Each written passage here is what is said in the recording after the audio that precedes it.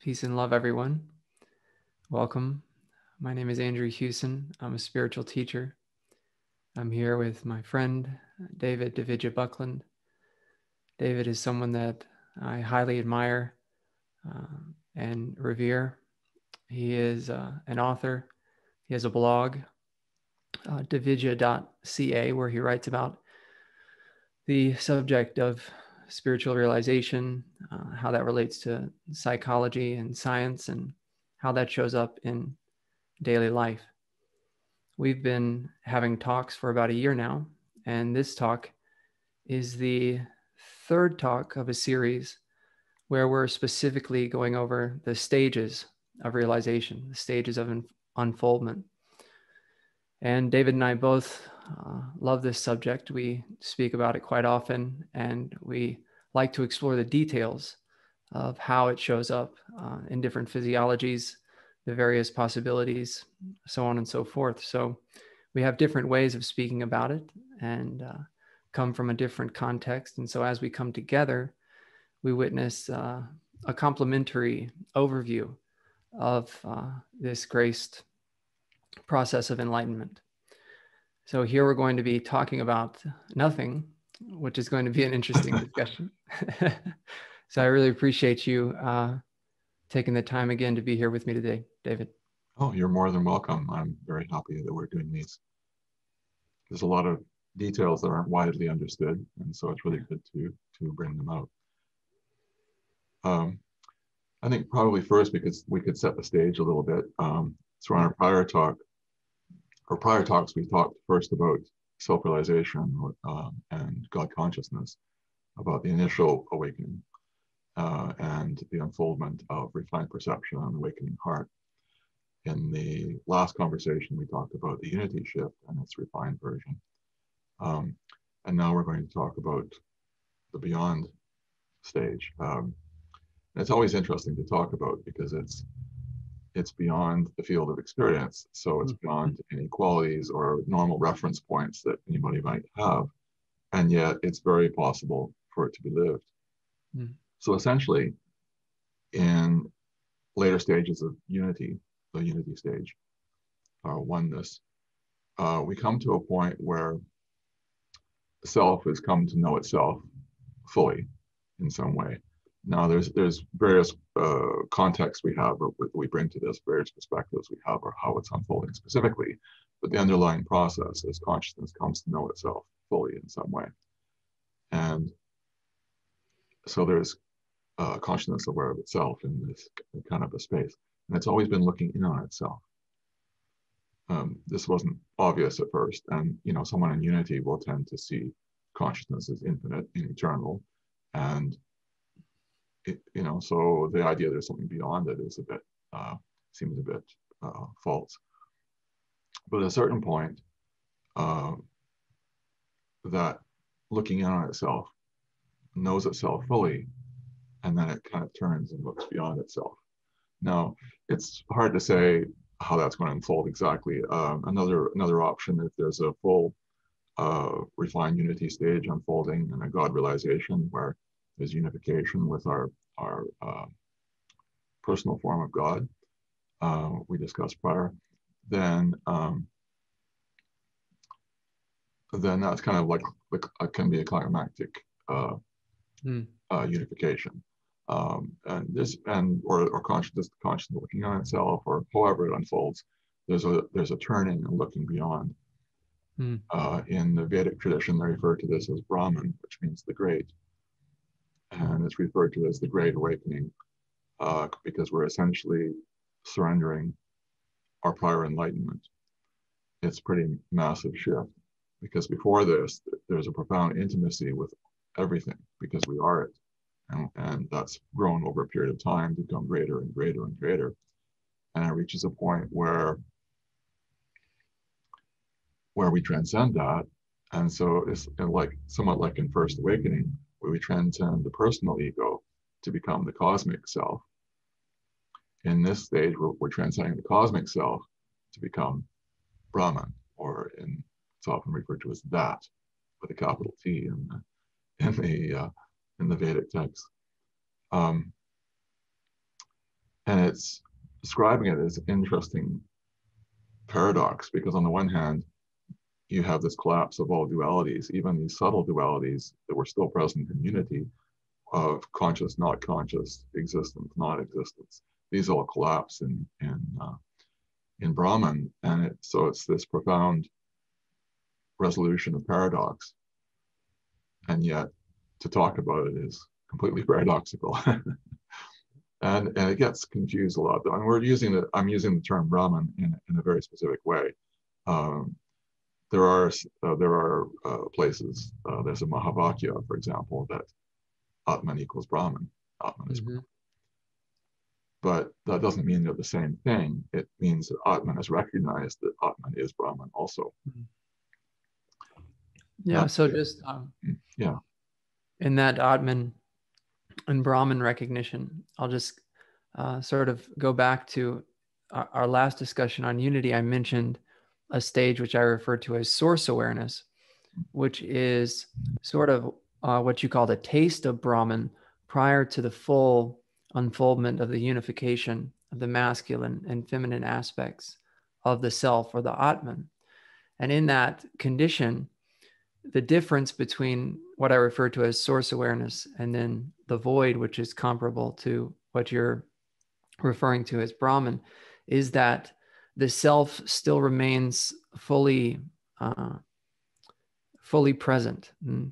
and not that it ever really disappears, but in that source awareness, there appears to be this sort of equilibrium where we recognize this field of full light that is the self, that is the Atman, and then also that unmanifest source or totality which it is shining from now i think that that condition is sort of where i uh, recognize that statement the atman is brahman because they're sort of held in an equilibrium hmm. and then at a later stage uh, at least in the way that it unfolded here and in, several other cases that i've seen then that uh, that field of full light seems to disappear or become insubstantial and the no thingness or the nothingness sort of comes into the foreground. Yes and it's important here to distinguish terms a little bit too to be very clear. Uh, use the word void for example mm-hmm. uh, which is a very good word on the one hand but it can not this is not to be confused with emptiness. Yes. Because emptiness is a quality of space and mm. that quality of consciousness being self-aware creates a subtle space and, and that can be experienced as either an emptiness or fullness in prior stages but in this stage now we're talking about uh, a no thingness uh, a, a void of things a void of qualities. Yes. Beautiful. Yeah that's a great point. The the word void refers to the total condition where um, of course we're, we're working within the limits of language. So uh, no no word is really sufficient to describe it. But uh, it, it's a non-spatial void. It's a it's an infinite void which is what you are what the what reality has recognized itself to be so it's a total condition which seems to be a way that it actually we recognize later uh, after that condition is shifted out of uh, wasn't the way that it seemed to be, but subjectively, it it shows up as uh, an infinite supreme voidness or nothingness, no thingness. Yes, and so for some people, the initial Brahman shift can be quite high contrast.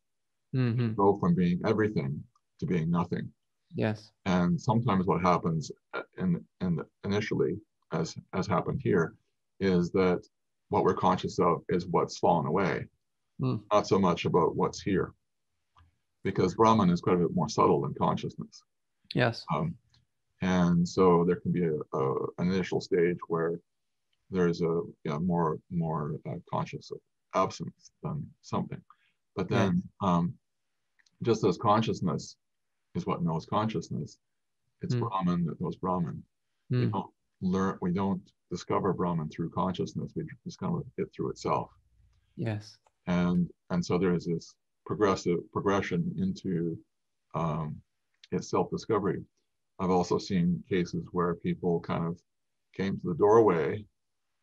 They sort of began became conscious of of something more of, of the Brahman, but they were kind of like, oh, it's like stepping off a cliff again, you know, it's like, oh, and they step back. And then yes. kind of step to the doorway and then step back.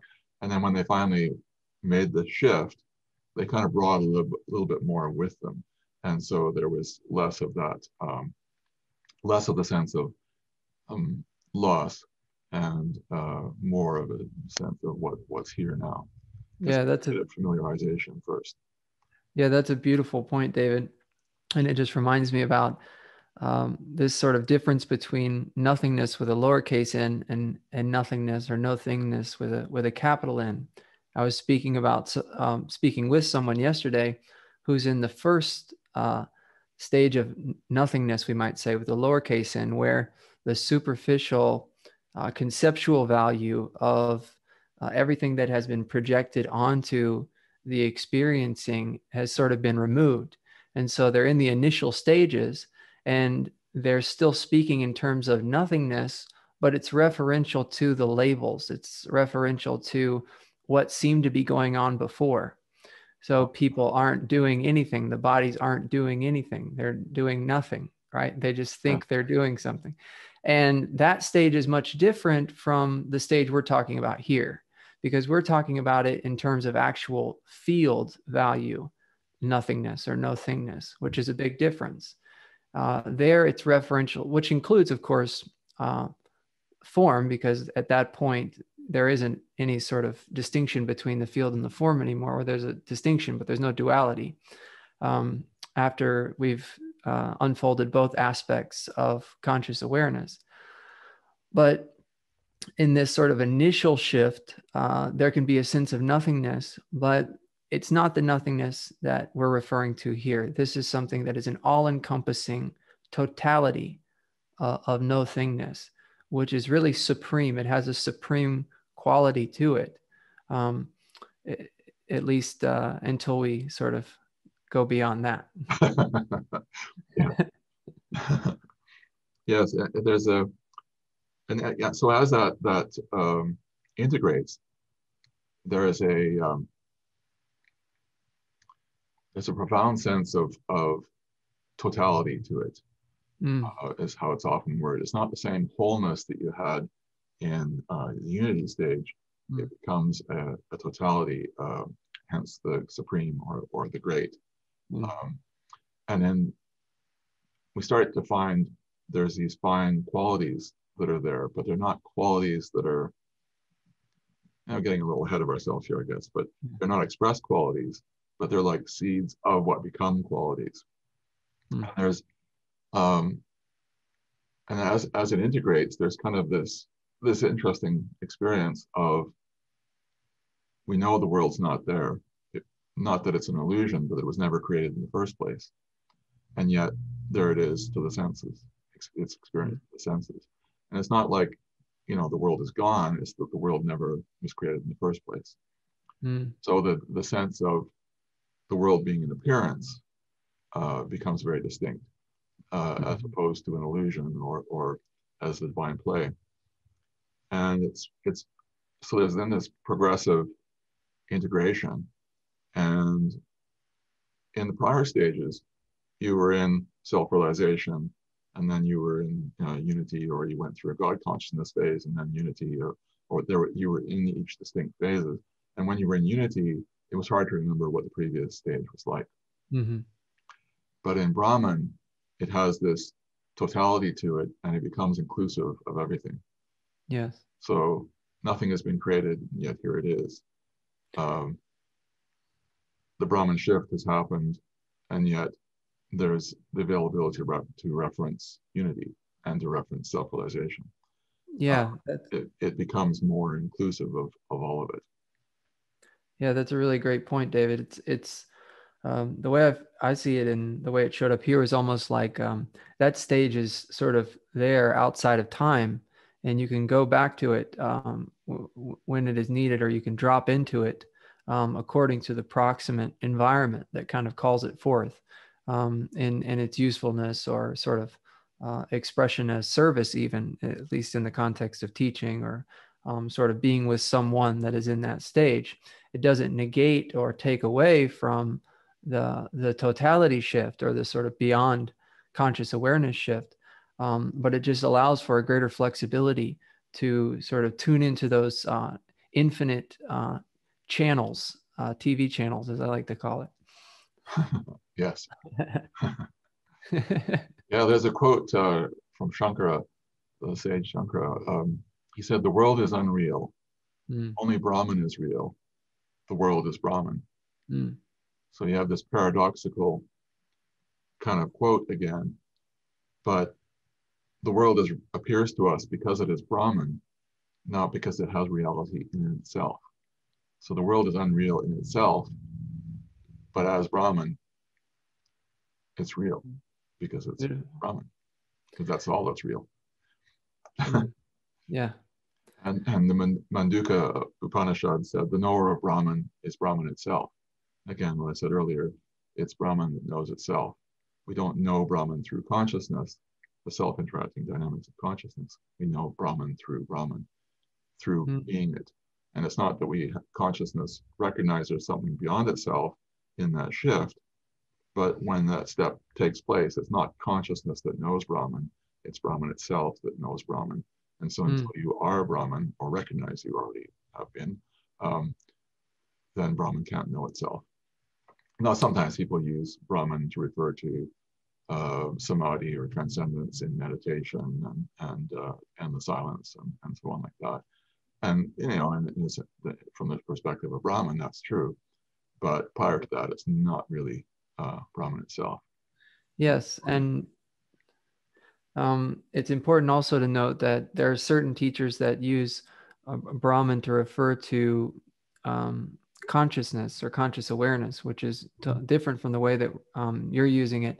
Yes. And um, one famous teacher, Nisargadatta Maharaj, a non-dual uh, Advaita Vedanta teacher, he referred to Parabrahman as what you're referring to as Brahman. Um, so he referred to beyond conscious awareness as Parabrahman. But actually, uh, in the way you're using it, parabrahman is something totally totally different so yeah, it's beyond Brahman. clarify for the for the viewers maybe uh, uh, privy to that to that languaging yes because parabrahman is means beyond brahman mm-hmm, mm-hmm. The, the term itself yeah yeah it's interesting another another uh, distinction is in unity it's a becoming process whatever mm-hmm. we experience we recognize we are and become. It's this gradual progression of, of unification. Brahman is kind of reverse. It it's said mm-hmm. to devour. Whatever yes. arises is is recognized to be Brahman and and and thus is recognized to be uh, nothing. yeah, that's that's a beautiful, yeah, extremely beautiful point, and it kind of goes back to um, that refinement of the Brahman knowing itself that you're referring to earlier, which I would sort of contextualize a little bit differently um, from the term void or, or vacancy, supreme nothingness, but it's the, essentially the same process. One thing that shifts is uh, from the space of being infinite conscious awareness, the value of unmanifest and manifest r- is really referential to the unmanifest value of the self and its manifest value as the various layers of expressed appearance. But what I found shifted um, when there's a going beyond conscious awareness is that the, the recognition of unmanifest and manifest shifts as well. Mm. So now the light that before was seen to be unmanifest is actually recognized to be the manifest. So it moves from a field form, unmanifest, manifest, to a field field, unmanifest, manifest. Now there's the unmanifest field shining as the manifest field of light within which the whole play of the world is appearing. And in that, uh, in the unity, refined unity, or what I refer to as dynamic subjectivity stage, there's this uh, thisness, thisness. You spoke about the word that, but in that full field vibrancy and that uh, that flowing fullness uh, that that is recognized itself, there's this immediacy of the sense of thisness. And that shows up in the contrast between that and this. That is shining as this. so we have this infinite thisness in, uh, within an infinite thatness. Hmm. And a part of that sort of devouring process, uh, I would say, is where the thisness sort of falls away in a certain sense, so that it the thatness becomes more prominent, and and in that also the the the sort of fullness of the forms, the appearances of the thisness also uh, begin to have more of a thatness as their uh, recognition of what they are. So it's a, that sense of devouring or revealing the total field and its content and its form, really to be made out of nothingness or no thingness. Yes, this also points to, to why Brahman is, is kind of the true non duality that mm. uh, Shankar was, was speaking of. Sometimes people use the term in reference to self realization because there's a kind of inner non duality, but there's a separate, perhaps illusory world. Uh, mm. But um, unity is where you start to develop much more of that oneness uh, because everything becomes inclusive of it. And then you go beyond that, collapsing even those subtle dualities of, of, uh, of unity. There's another um, interesting detail too, uh, known as Lesha Avidya, the remains of ignorance. Essentially, there is a uh, this a bit of uh, humanness required to to uh, for for unity to function, and this becomes actually even more so in uh, Brahman, because Brahman is a human living uh, a Brahman consciousness, or the Brahman stage is a human living Brahman. Mm. Without that human living Brahman, you don't really have that Brahman stage. It needs needs a, a, a bit of a person to to be able to express it. Mm. And of course, it, you know, talking about this and that and, and and those kind of things, it's kind of the mind kind of goes uh, off the rails a little there. Is really something you you can figure out with the mind. Even someone in unity stage, this isn't going to make any sense to uh, yes. because for them it's all the self and there is nothing else. Hmm. And here we're talking about something entirely different, uh, and yet the same. So yeah, it's a it's a it's a very curious uh, topic to talk about, and yet it's very much something that we can live. Yeah, it is something we can live in it, and I think it is. Uh, or I know it's relevant to talk about because when I was when these stages were unfolding here, you know what i found was that there was a drawing to the stage what whatever material or teaching or sort of um, expression was coming from the stage that was unfolding. So it sort of had a deeper resonance um, with the laws of nature in in that sort of impulse to continue uh, or to unfold in in a certain direction or directionless direction if you will. And so having that uh, the the capacity to sort of hear what is beyond the mind sort of filter through the mind express itself in in a way which is you know somewhat communicable uh, is helpful uh, because it gives it, it supports the the the unification and the integration of what's happening on its own and of course could never be brought about through listening to david and andrew talk about something. But at the same time what's going on behind david and andrew appearing to speak you know and as we speak about that supreme no thingness, as we speak about that supreme thatness, is it possible that there is a subtler than the subtlest recognition that could shine forth? Yes. That that is appearing as this speaking, as this experiencing. yes yes and it's and it's key too because there's a lot of people now on spiritual paths mm-hmm. um, without a formal teacher or in-person teacher. Uh, traditionally this kind of knowledge was given out uh, when the student was ready when they came to that point. There was probably some general overview and, and so on. Vedanta um, you know the upanishads the bhagavad gita the brahma sutra mm. uh, those are all texts uh, that talk about this stuff. Um, but a lot of it, you know, the the verification and support of this was was always done in person. But nowadays, you know, we're spread out over the world, and people are are there's a, a rising consciousness that is causing people to to awaken. And if you live that that shift naturally, a number of those people are going to move forward into higher stages, which mm-hmm. points to why we're talking about this kind of thing to help, you know, primarily to help support um, people who are reaching this these kind of places. And uh, secondarily, just to, to have a broader um, understanding of the path for people, so they know when they're when they're reading the Brahma Sutra what they're talking about. Because uh, you know, if you try and apply self-realization to that or whatever, it, it you know, the pieces, the puzzle pieces, don't all fit together properly. Beautiful. Yeah, going back to that, uh, when you mentioned sort of how conscious awareness sort of looks beyond itself uh, in in sort of the initial unfoldment of the shift, what what comes to show up in that refined value is that actually it was that we or what we are was looking from the thatness into the the appearance of the the field of conscious awareness. Mm. So it sort of shifts that perspective so that we were looking from that unmanifest field into the manifest field of light uh, that is none other than that we come to realize. Yes. Mm-hmm. Another another important detail about the uh, process is this kind of masculine and feminine duality.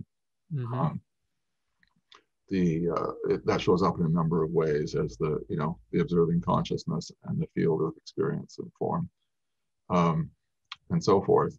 And in the stages model, we we talk about um, there's kind of the, the shifts in consciousness itself, mm. and there's the shifts in the uh, refinement and the awakening heart and so on, the more feminine side, mm. uh, that they, they're kind of uh, parallel but intertwined uh, processes, but they're somewhat distinct into how they're unfolding for individuals. Like some people will go through the self-realization and unity process with very hmm. little mm. refinement going on, and other people will have a lot of refinement and uh, that stronger feminine side uh, oriented.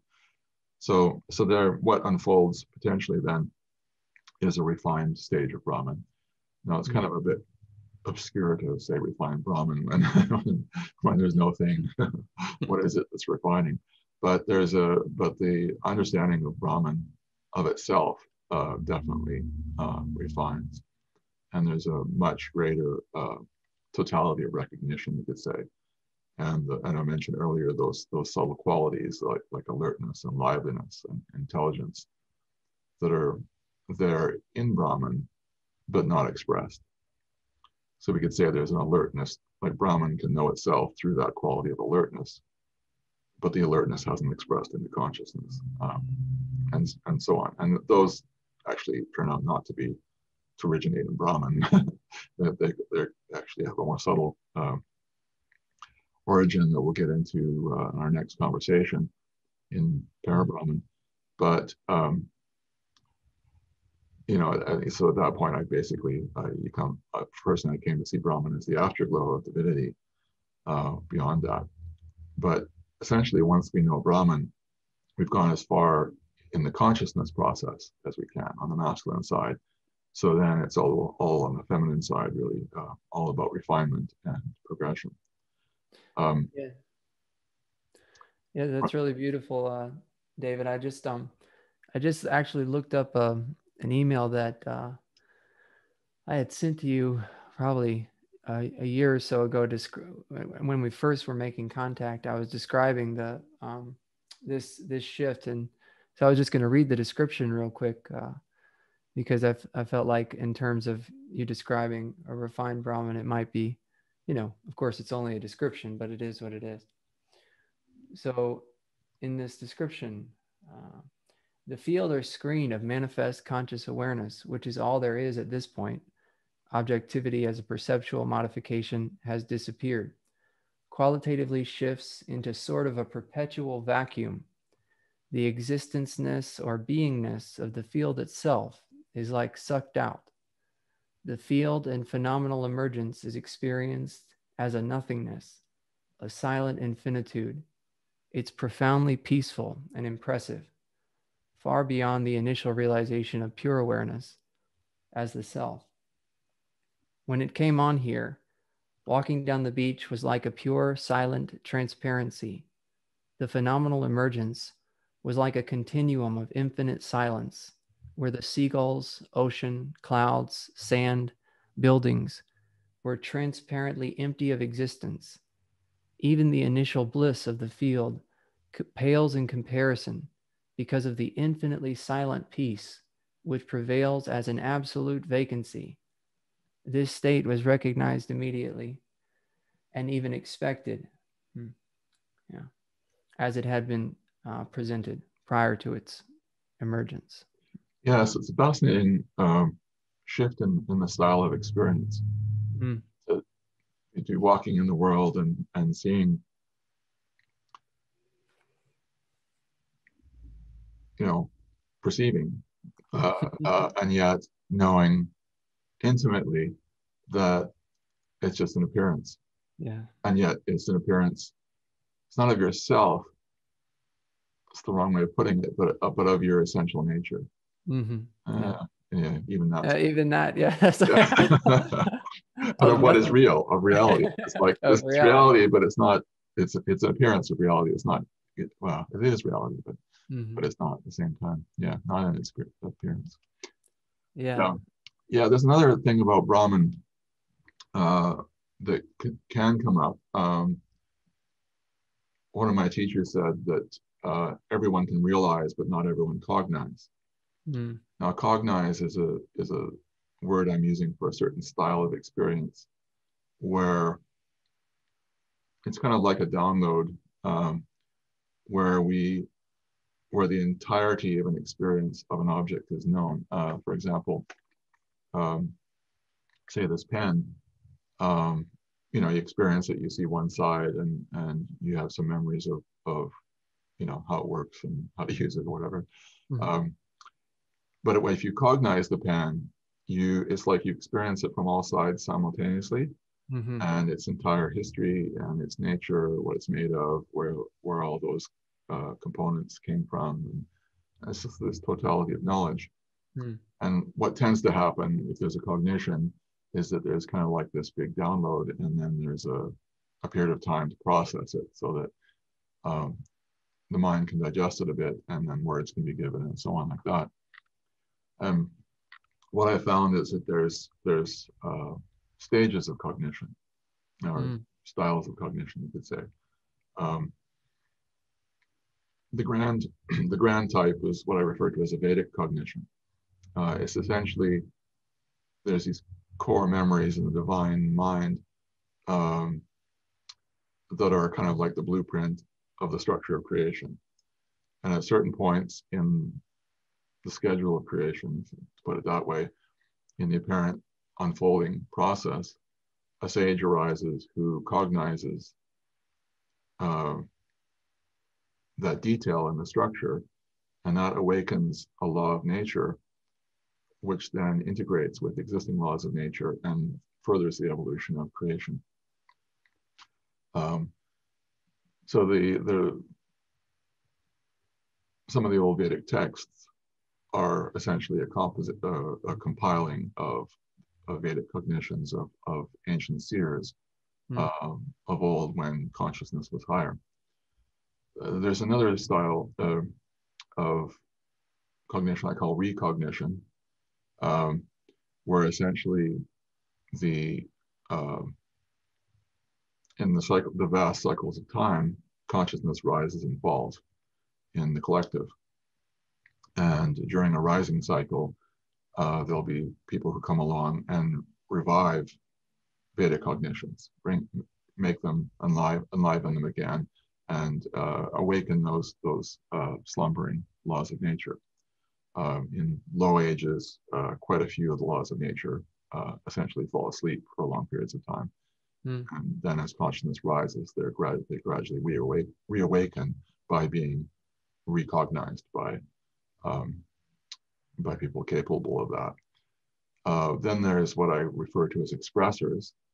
Um, they're people who experience those fine values, uh, not as a cognition, but revive, essentially reviving and spreading through experience. So someone can recognize uh, a quality of nature, and then expressors will will um, experience those qualities that have woken, woken up and kind of make it more enlivened uh, more broadly in, in collective consciousness. Mm. And then finally, you have your basic cognition, where where uh, those lively memories um, in the in the collective are directly cognized, um, a, kind of a basic form. And I've seen examples of people who can have those kind of basic cognitions uh, even prior to awakening. Mm. Um, but they have to have fairly developed uh, refinement in order to, to have those the style of experience. You know, because essentially um, the world, as you mentioned earlier, is structured in layers. Mm. At its most uh, fundamental, we have Brahman that we're talking about, and then within Brahman, cogn- uh, consciousness becomes self-aware, and then uh, expresses from consciousness. Um, that's beyond the, the, the, context of our discussion here. But and then it then it kind of builds up in layers um, uh, and, until we experience uh, form on the surface and have experiences. But it all takes place within consciousness. Yeah, that's really uh, it's a really beautiful point. I sort of jokingly had a less sophisticated way of describing cognitions. One was uh, a sitting cognition, that comes during meditation and the other was a walking walking cognition where you're walking along and all of a sudden a comprehensive knowledge of a certain aspect of creation comes out of nowhere. Yeah. And uh, one thing that's interesting is you've spoken about the sheaths and uh, how even conscious awareness itself can be recognized as a sheath when you go beyond it. Right. sort of a covering or a veil in a certain context. I mean, of course, it's not, there's no negative connotations or anything. Um, but I also see that nothingness itself also can be recognized as a certain sort of sheath or a certain sort of veil, um, which is trans- not maybe not in the same sense of sort of uh, whole containing like like it is in conscious awareness, but something that must be sort of transcended or seen beyond in order to realize the reality of pure divinity, which we're not going to go all the way into, but just talking about how even that supreme status of nothingness uh, is something that hmm, has the potential to be transcended. Yeah. Yeah. Yeah. So I, yeah, in a sense, Brahman is the, I mentioned earlier about being the afterglow. I'd agree mm-hmm. with the word veil. Mm-hmm. I wouldn't call it a sheath though. In that sense. okay, it's yeah. not like a, a, layer around us kind of a thing. Yeah, um, yeah, yeah. A number of there, there's a kind of a five kosha model that's used uh, sheath kosha or sheath model that's used by a lot of uh, Vedic oriented teachers um, because from the perspective of consciousness uh, in self realization or unity, uh, consciousness is infinite and eternal, so it's not a sheath. Uh, and so they kind of count five within that. But when you rec- you know transcend into Brahman, then you recognize that that consciousness is also a sheath, and you end up with what I use is the seven kosha model, where there's consciousness and then there's the uh, what you might call creation within consciousness, and then so on mm-hmm. from there. Um, yeah, it's an interesting. Parabrahman is a really interesting one because you kind of there's there's little hints. It's kind of like um, in self-realization, you kind of you recognize that I'm not the doer. Mm-hmm. So the question can come up. So what's doing the doing? Uh, what's motivating me to to take these actions or, or do these things? It's just happening. And in the same kind of way, you know, as you refine in, in Brahman and you recognize there's these qualities um, like alertness and, and intelligence and so on, they don't have an obvious source in that in that sense and so there can be the question and so as that process refines we come to a place known as uh, para well place is the wrong word but uh, we come to a, a, a stage of, of para Brahman, and para again means means beyond hmm. and this is known in the sense that that consciousness is the source Para Brahman becomes recognized as the source of the source. Those subtle qualities and uh, well, everything that comes after that, uh, all are recognized, come out of Parabrahman, uh, also known as as uh, pure divinity. Mm-hmm. Um, like the context uh, in consciousness, we can experience pure consciousness in samadhi or mm-hmm. transcendence when we go beyond the mind and just experience consciousness by itself. Or we can experience consciousness as the world and, and everything in it. Um, so there's, but you know, by going beyond that, we can experience consciousness by itself. Uh, and in the same way, we can experience uh, forms of divinity within the field of creation, within consciousness. Um, we can experience uh, more abstract values of that. Mm-hmm. But until we come to Parabrahman, we don't know pure divinity, divinity by itself, without Brahman, without consciousness. Yeah, that's a that's a great point. And we're gonna and it we're gonna talk. Um, we're gonna really go into some detail about that in, in our in our next discussion and how it really ties up some loose ends, you might say, when when we arrive at that, um, makes the whole process much clearer than it was. And what I found was that there were still some subtle paradoxes, even in the even in the totality of nothingness, even in that supreme uh, recognition of of silent, um, non-spatial vacancy. And it's kind of like you know the light of the the sun uh, shining and and looking back on itself as the light through it you know the light sort of turning around and looking back towards the sun but the sun not being there there just being no thingness almost like a black dark field. So something isn't lining up um, because it's like this light was appearing to shine from a no lightness you know what i mean? The infinite no lightness.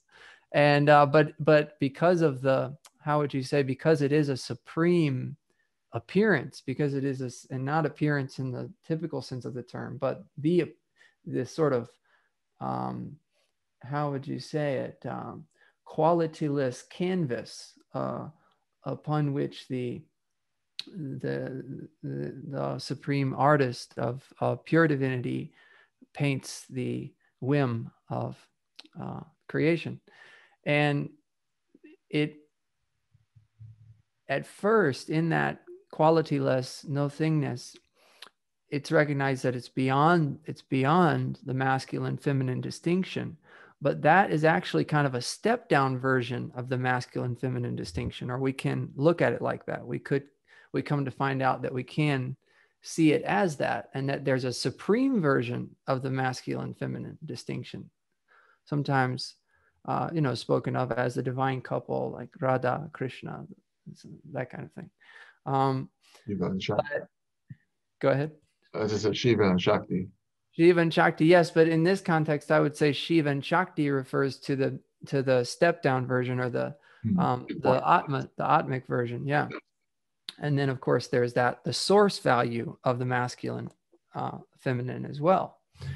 So that uh, what what seen what at first was recognized to be beyond the masculine and the feminine actually later on in in pure divinity, uh, which is not later in time or anything like that necessarily, but sort of beyond time later on. Later we, in discovery. in our discovery, there you go. Thank you. we we recognize it to be the supreme. It has the potential to be recognized as the supreme value of the masculine uh, in a new way. So that's really beautiful, and I, have that's kind of been in the the the foreground uh, over the past year or so, so in terms of that uh, yeah sort of the the coupling of that and how um, that relates to the to the unfoldment of the of the presentation of creation um, yeah uh, it's also important to we'll go into this uh, later but uh, it's important to understand that uh, parabrahman is, is like uh, unity in that sense there's mm-hmm. kind of like these three three it's like self-realization, God consciousness, unity, and a Brahman, para-Brahman, uh, a Brahman, refined Brahman, para-Brahman kind of, mm-hmm. and there's certain similarities between them, and in their pro in the process. so para Brahman, like unity, has a progressive series of stages of unfolding Mm-hmm. Yeah. um, of the depth of our knowing of pure divinity. Yeah. Which is pure divinity actually knowing itself, tasting itself through this unique flower of the human physiology. Very good point. Yes. Yeah. So it's really beautiful. It's amazing. And yeah, starts to uh, really kind of swell up even just to start to talk about it. So, Yes.